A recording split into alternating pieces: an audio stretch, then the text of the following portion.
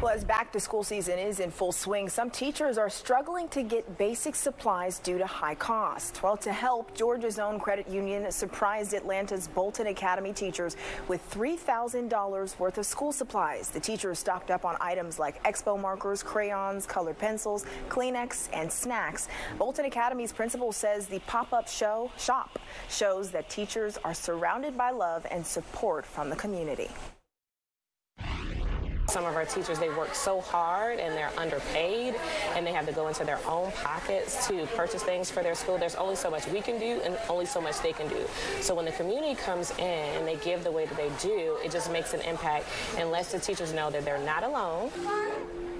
An Adopt a Classroom national survey found that teachers spend an average of $750 on supplies out of their own pockets.